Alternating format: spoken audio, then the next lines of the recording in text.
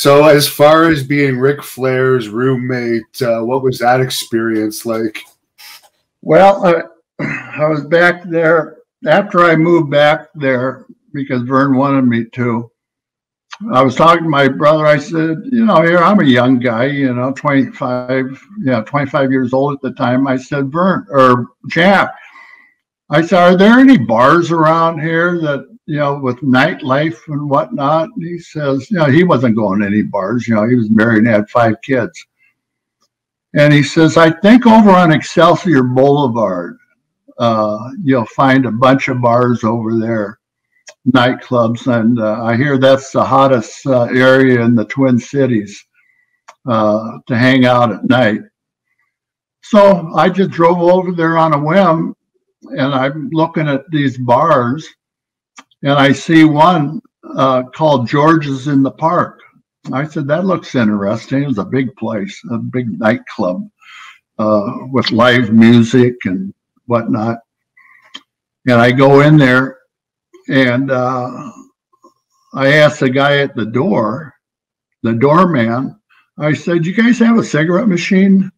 He says, Yeah, it's right over there. So I go over there, take my 50 cents out, 50 cents a pack back in those days. And uh, I put it in the cigarette machine, pull the lever. Here comes my pack of cigarettes out. I, then I stood up, and the guy standing there by the cigarette machine he says, I, I, hate to bother you, but are you Ken Patera? I said, yeah. He said, I saw you on the Wild World of Sports two weeks ago. I said, yeah. And he says, oh my God. He's, what are you doing in here? I said, well, we all have to be somewhere. And here, here we are. Well, to make a long story short, after a while, we uh, Ric and I became real close friends and uh, we started uh, uh, thinking about getting a place to live together with a couple other guys, a couple bartenders. And uh, so one thing led to another. We rented a house uh, in uh, South Minneapolis, right off of 30, 35, 35E uh, the freeway that runs from Duluth all the way down to uh, Brownsville, Texas, I think. It's the longest freeway in uh, North America uh, at that time. I know there might be something longer now. But uh, so we rent this house, the four of us.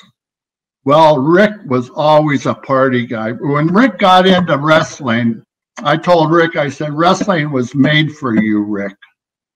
And we were living together, and he kept bugging me about meeting Verne Gagne. I said, as soon as I get back from the Olympic Games, Ric, next year, I'll take you down to meet Verne Gagne and see if we can get you in the training camp. So anyway, prior to that, I talked to Verne about Ric. And I told him, I said, Ric uh, Flair, he uh, knows uh, your son Greg and uh, Jumping Jimmy Brunzell. Uh, Brunzell was playing uh, football for the University of Minnesota. And he says, Oh, yeah, well, I'll ask uh, my son Greg about Ric. So uh, Greg says, Yeah, he'd, he'd be great to come to wrestling camp. Verne says, Well, there's only one problem. We already have five guys.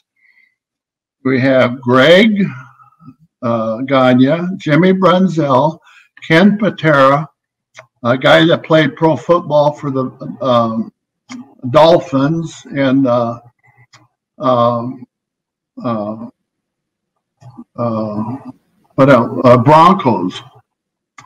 his name was uh, Bob Bruggers. And we have another guy from Iran, kind of a skinny guy. His name's Khosrow Vaziri but he was uh, in the 68 Olympics down in Mexico City. And so that's the five guys, you know. I don't know if we have room for a six. Anyway, after about two weeks of asking Verne practically on a daily basis, will you please just, you know, I'll bring him down to the office here and you talk to him, interview him, and see what he's up to. And he said, okay. Well, Ric was two time uh, amateur state champion over in Wisconsin. Uh, but he grew up in Minnesota. He got kicked out of public school in Minnesota. So uh, his parents were fairly wealthy. His father was a doctor. So they sent him to a boarding school over in Beaver, uh, Beaver Falls, I think it was, um, Wisconsin. So he, I think he even got kicked out of there, but he did get a degree, high school degree. he was a wild man his whole life. He just has that boundless energy, you know, always wants fun. And he, he was the type of guy that needed attention on a, I mean, daily basis. And uh, the more, the merrier. And so uh, uh, we were training together. And then, of course, Verne started the wrestling camp when I got back from Munich. Uh, that, that was, I, I got back the end of September. And uh, so we started that uh, wrestling camp the 1st of October. So he went October, November through uh, the first couple weeks in December. Thank you for watching the Hannibal TV. Please like this video if you enjoyed it and click the subscribe button to not miss any of our latest shoot interviews, match videos, or news updates.